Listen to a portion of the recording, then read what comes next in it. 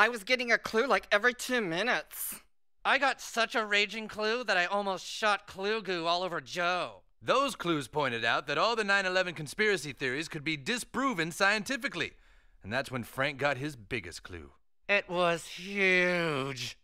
that all the 9 11 conspiracy websites are run by the government.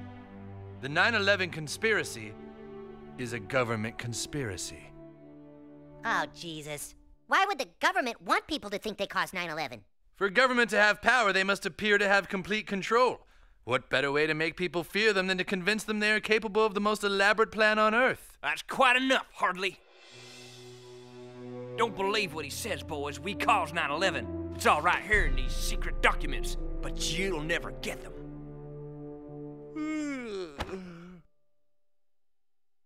I knew it! You didn't plan 9 11 and you didn't really shoot that guy! Boys, you don't understand. People need to think we're all powerful, that we control the world. If they knew we weren't in charge of 9 11, then we appear to control nothing. Why don't you just tell people the truth? We do that too, and most people believe the truth. But one fourth of the population is retarded. If they want to believe that we control everything with intricate plans, why not let them? Just one thing, Mr. President. How the devil did you know we were all here? You couldn't just go home, dude? That's all we had to do. Stan! What the f? It was all planned out. You knew this whole time? Why? Because it was me. I'm the one who took a dump in the urinal. What? The stalls were full and I didn't want to miss recess. I didn't think it would turn into such a big deal.